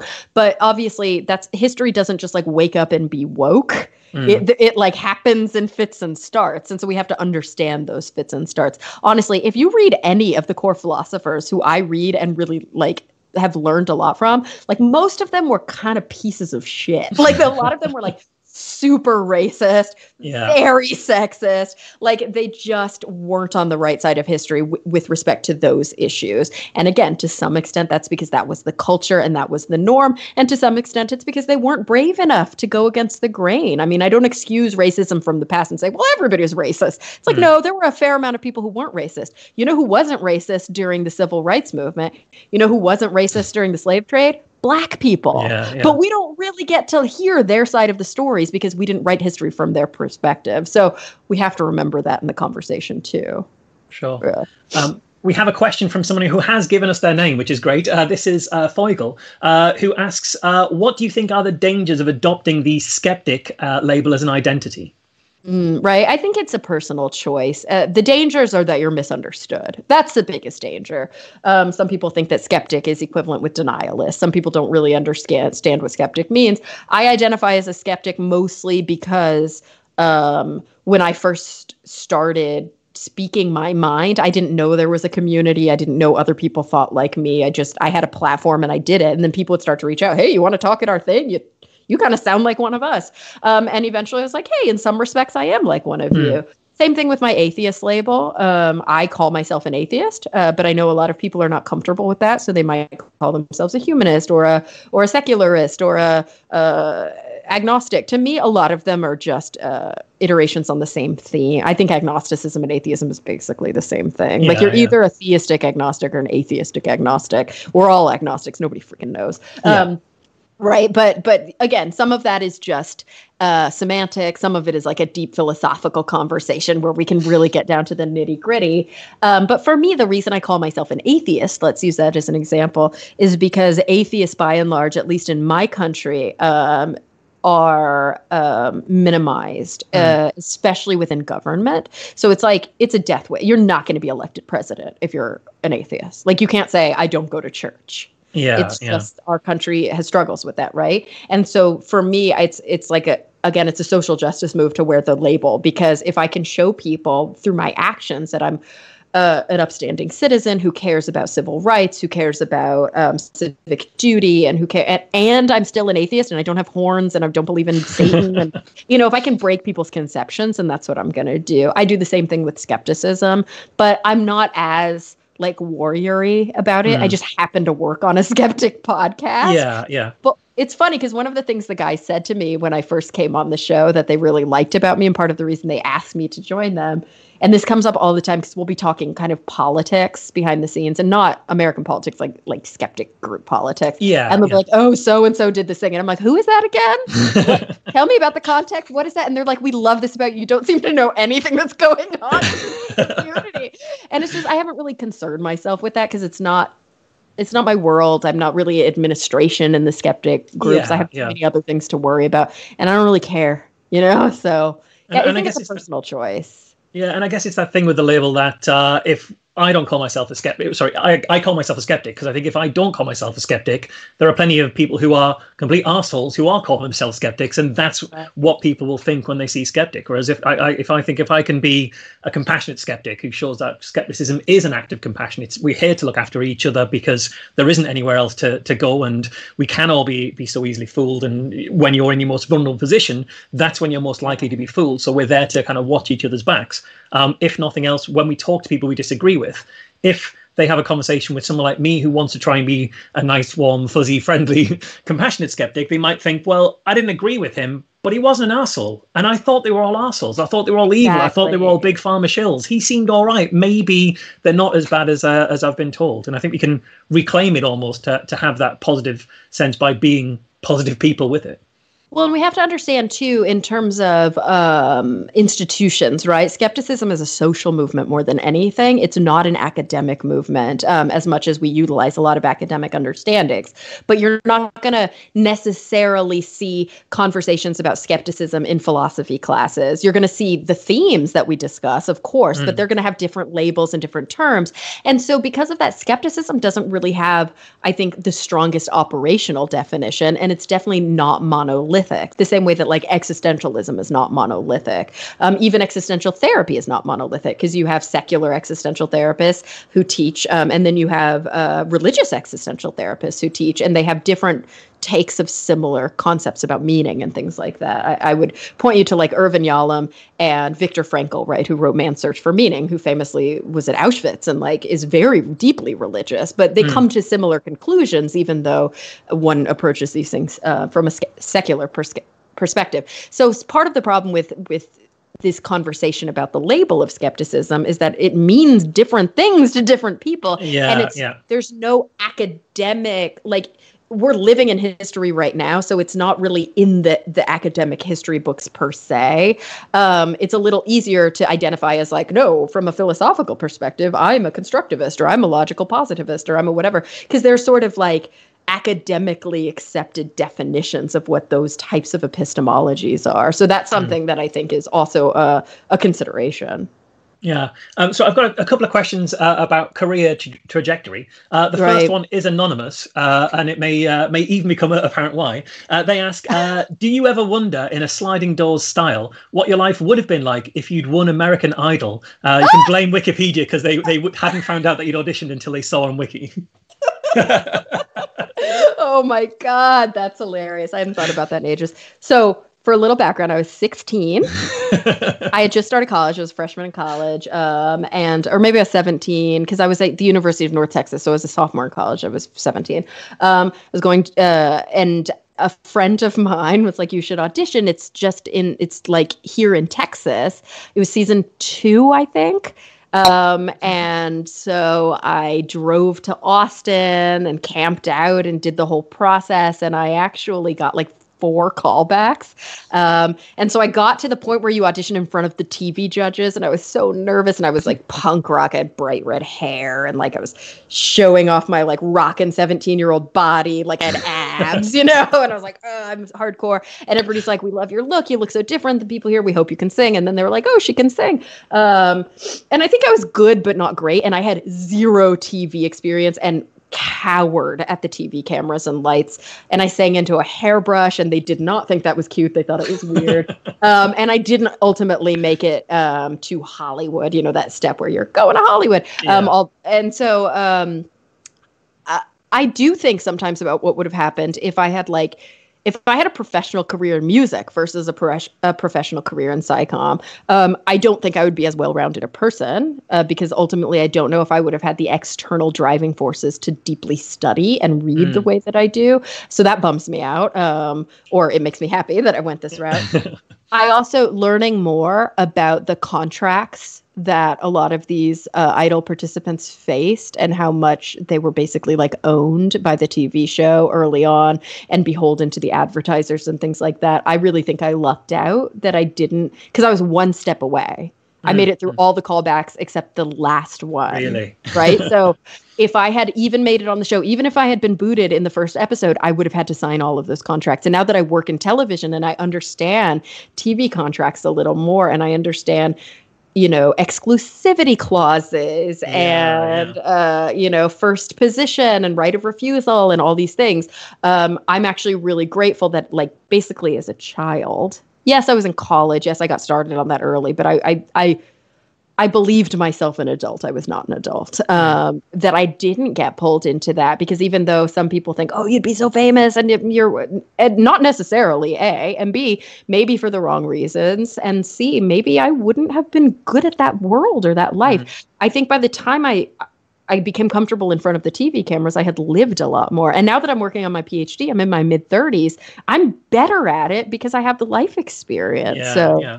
um, you know, I'm my life is what it is. I can't rewrite it. And I do sometimes think about how different it would be, but it's such a departure. It's like, you know, when you hear about a, a, satellite that gets bumped off course and it's like the tiniest degree but then it goes like this. And at a certain point you're like it's so far away. I it's hard for me to fathom what that would have been like. I yeah. mean but I, I've, I've had um, significant others in the past who are famous and who live certain types of lifestyles um, even even uh, musicians and i see what touring does to somebody. It's hard it's mm-hmm. not easy. It's not easy to maintain relationships. It's not easy to maintain your mental health. Um, and in some ways, I think I'm lucky that I have kind of the best of both worlds. I have a platform. I get um, paid well, but not crazy well um, for the work that I do in TV, which has allowed me to do things like own my own home. I mean, that's mm-hmm. amazing.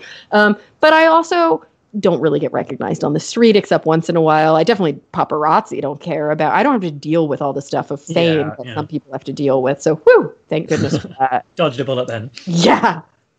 Uh, and we have a, question from Neil, uh, who asks, along a similar kind of vein, uh, what impact or uh, redirection or, or, anything do you think joining the Skeptic's Guide had on the trajectory of your career? Did it uh, have any kind of redirecting uh, at all, or what impact do you think it had?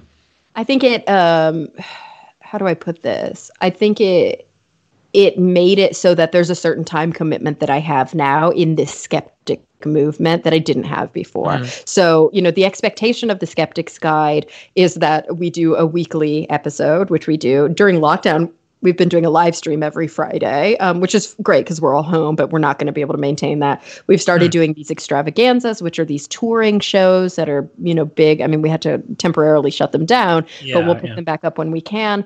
Um, so it's multiple events a year. Um, it's a lot, right? And I did this before I decided to go back to school. And I can tell you, it's not easy. It's not easy trying to answer to like multiple causes. So it's like, oh, I got my clients, but then also my professors and my dissertation and oh and like talk nerdy is different because i can just do whatever the hell i want like mm. i have made it so it's low hanging fruit for me like i love it i get to dive in and get deep in the conversation but everything beyond that one-on-one conversation i have with my guest is like handled i have an assistant who books it and d- talks directly to publicists. I have uh, an editor that I pay, which means I don't really make much money on it, but because I'm like you know, delegating everything, but it's the mm. only way I could keep doing it is that I didn't spend more time on it. SGU takes time. Um, so one of the biggest ways it's influenced my life, yes, I think it's helped with the with sort of a platform, but in a way, it's like a yes and no thing because SGU is weird. It has a massive listenership, but that doesn't necessarily translate to an Instagram following, a Facebook following, a Twitter yeah, following. Yeah. And also, I came into it with my own kind of following already. It's not like SGU sort of like made me who I am within the community. Sure, um.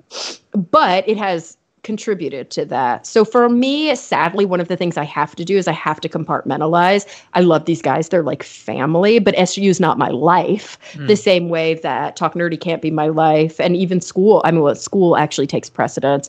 And it, it, it works like this if I'm working on a TV show, I'm legally obligated to put them in first priority. Yeah. That's what my contract says. It's also the way that I feed myself. So uh, when I'm working on a TV show, it has to take priority, which is why sometimes I have to take breaks from school for that because um, production's pretty exhausting. After that, my education is my second priority. Um, I don't know how long I'll be able to be on TV. In like TV years, I'm like ancient, I'm like elderly, uh, which is so freaking sad. Yeah, who knows yeah. how much, you know, it's like, uh, it's a whole political, disgusting thing. Um, and you know i want to better myself. I, I can potentially have my own practice or i can work as a consultant. I'm not really sure what i want to do. I know i want to work with people who are terminally ill but i don't really know exactly how what that's going to look like. Um, but that's my second priority and goal beyond obviously uh, work life balance, mental health. Mental health is my number one. If my yeah. mental health isn't in check, I can't do anything. So therapy, meds, all that. Um, you know, interpersonal relationships, blah blah blah. Although sometimes they take a backseat, sadly. And my dog, he's my priority. Um, I thought we'd been interrupted like, by your dog by this point, but uh, you've been very respectful of the stream. I'm going to show you actually, if you guys are okay with it. So he's sleeping next to me in his little doggy bed this whole time. He's just like doesn't care. He's an old yeah. man now. He He's doesn't care. Clearly, very unimpressed with the UK audience.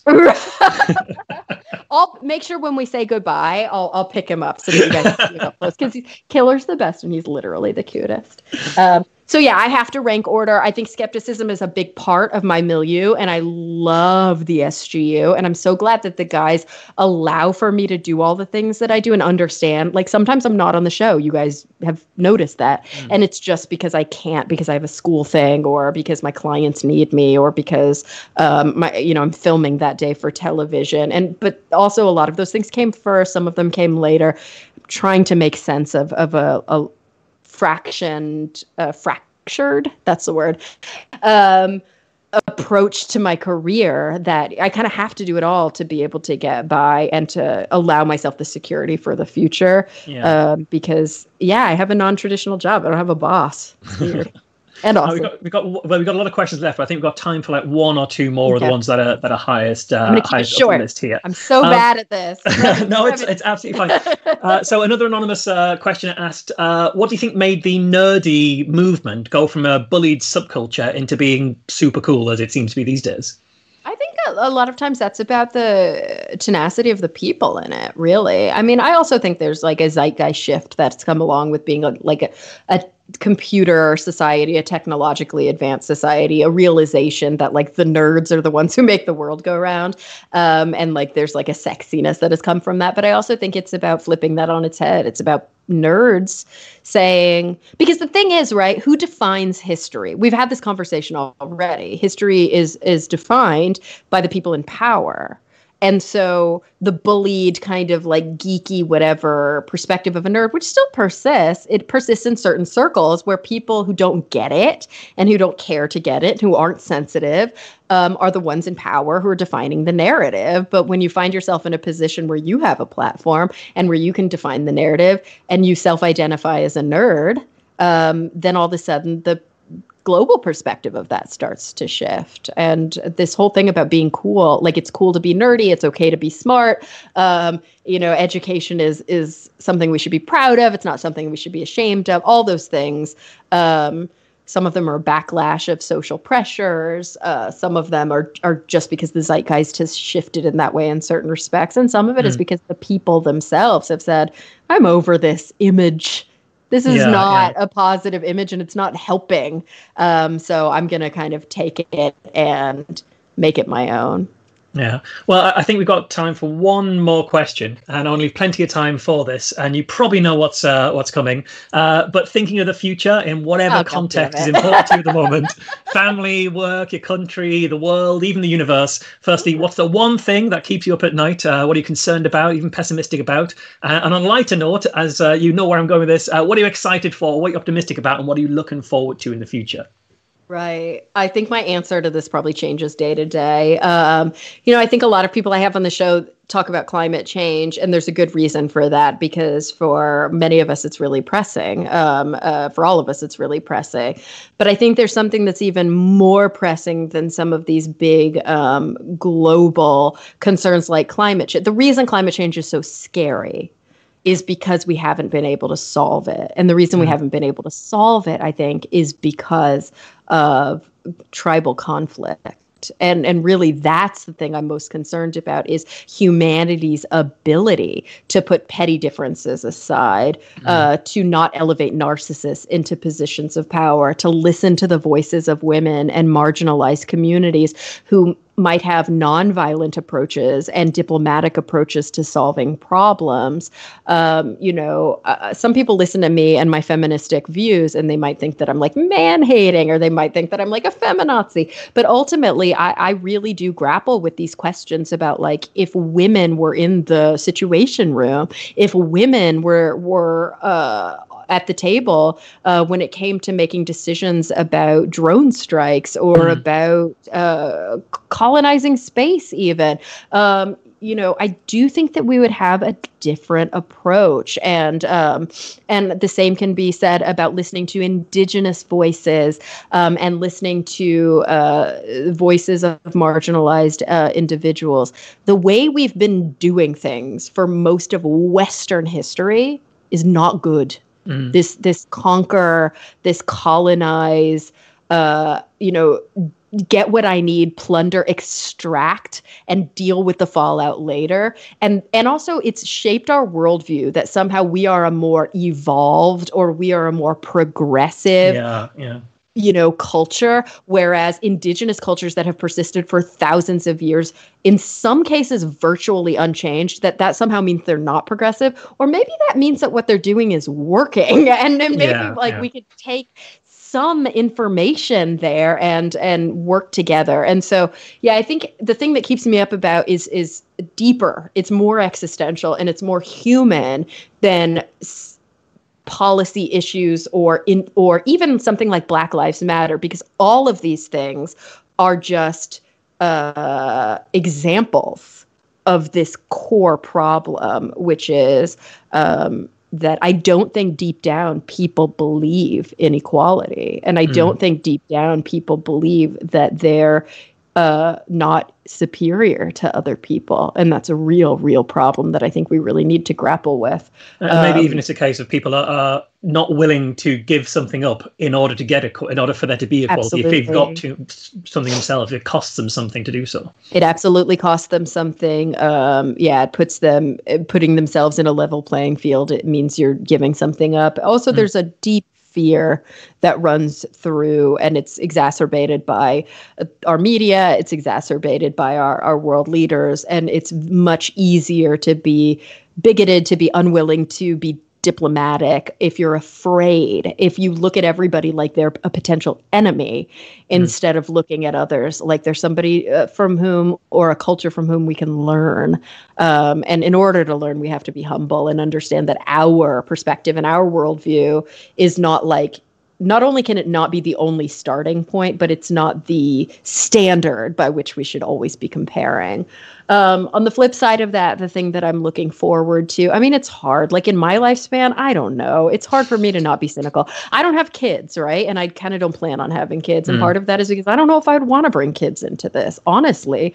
Um, in, you know, sort of the the MLK view that like the um, the moral arc of history is long, but it's bending towards uh, justice. I mean, yes, I do think that it's maybe three steps forward, two steps back. You might have heard me say this on other shows. Some people like to think that it's two steps forward, three steps back. That's mm. not true. It right now we're in a not great place. And so it's very easy to be like, everything's horrible and it's never been good. We have been in good places before. We will be in better places. It's a slow burn. I wish we could do things faster. I wish that we could kind of evolve as human beings. Uh, it, it in terms of these more progressive views uh, a little bit faster. And now, when I say progressive, I actually mean politically progressive. I don't mean um, technological progress. Yeah, yeah. Or anything like that. How we would define progress. Um, I think that you know there's a the cool thing about horrible things like pandemics and and uh, and horrible things like you know the police killing unarmed black boys and men is that um, people gain perspective. The hope is that they they actually um, learn from that perspective. I wish it didn't, didn't have to happen this mm-hmm. way. Mm. Um, but one of the things that I think has been a good thing that I've been noticing is that some people are slowing down and rethinking how they define progress or um, how they define what they think of as sort of the direction that their life should be going. And they're thinking about being more meditative and more mindful and breathing and spending more time contemplating and walking outside and you know there's a lot of wisdom i think ancient wisdom ancient buddhist wisdom and taoist wisdom and, and stuff that we can really take on and uh, realize that maybe the Western way of living hasn't always been really healthy. Mm. There are a lot of great things have come from it, but at what cost? Um, and that's something that we should be grappling with as a society. And so, if I'm looking forward to anything, it's maybe that we can learn a little bit from some of these um, from some of these problems, and and hopefully yeah. be be better. Well, I think it's a, a, great answer, and thank you so much for uh, for joining us. Um, if people want to check out your work or any projects you're working on at the moment, um, is there anything you want to tell them about or, or direct them towards? Sure. Yeah. I mean, I'd say just Google me because even my website, which is myname.com, doesn't have everything on it. Um, I had to to pare it down. There's just too much. But if you want to listen to Talk Nerdy, subscribe anywhere. You can subscribe to podcasts. Obviously, Skeptics Ed, you probably already subscribed to that. Um, uh, and then I did recently do a, um, a short series, a documentary series called Pulling the Thread, which was released by World Channel on YouTube. Um, and it's all about why people believe in conspiracy theories. So I recommend checking that out. It's um, I can't take credit for it, which is why it's easier for me to say it's quite good. Um, I just read my line. Um, and Brain Games, the last season of Brain Games, is available on Disney Plus. Do you guys have Disney Plus in the UK? We do now, yeah. Yay! Okay, good. So I think you can check that show out now too, which is really cool. Um, so yeah, there's a lot, but I'd say you know if you want to keep in touch, Twitter is a great place. Insta to some extent, not Facebook. I mean, I have fans on Facebook, but I don't engage on. I mostly just. De- Facebook, I delete and ban. Um, so keep that in mind. Uh, but but Twitter's where I'm most active, and um, and yeah, the podcast. Um, look look me up. Fantastic. Well, I'm sure any listeners, any, any, of our viewers who weren't already subscribing to those things uh, will go off and do so, but I'm sure they already were. Cara, thank you so much for joining us. Uh, I've really enjoyed this, and I'm sure the audience has too. A huge round of applause, every for uh, for Cara Santa Maria in whatever virtual form of round of applause uh, we can do uh, there. Um, and uh, that is the end of our, uh, our, talk, our interview for this evening. Uh, you can remember, you can come back next week uh, when we've got Anthony talking about uh, the return of race science and her book Superior, uh, which is going to be fascinating and obviously incredibly timely. the week after that, we've actually got Natalia Pasternak, who is the head of the Institute for Questions of Science in Brazil, so the Brazilian skeptical organization. She's going to be talking all about what's happening in Brazil right now. And if you are watching the news at all, you'll know there's a lot happening in Brazil right now. So that's going to be a really fascinating talk as well. Uh, you can find all those details on our Twitter and our Facebook and here on the Twitch. And I'm sure the moderators are filling the chat with all of those links right now. Uh, if you want to give a little bit of money to support what we're doing, there's a link there to PayPal and you can sign up on uh, Amazon Prime as well. Uh, and other than that, I hope everybody stays safe. I hope you do too, Cara. And we will see everybody next time.